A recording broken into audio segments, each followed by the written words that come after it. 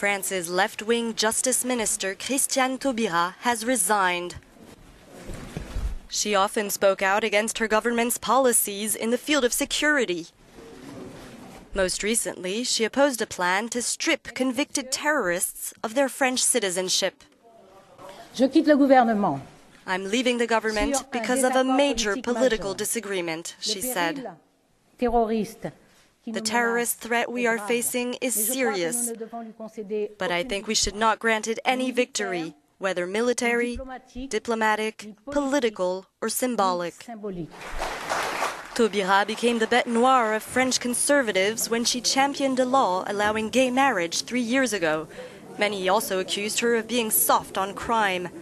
She will be replaced by Jean-Jacques Urvoas, a socialist lawmaker widely seen as more supportive of the government's line.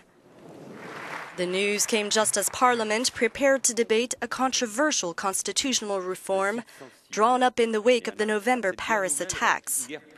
Taubira has openly criticized the government's plan, saying that stripping convicted terrorists of their French citizenship wouldn't help in the fight against Islamist radicalization.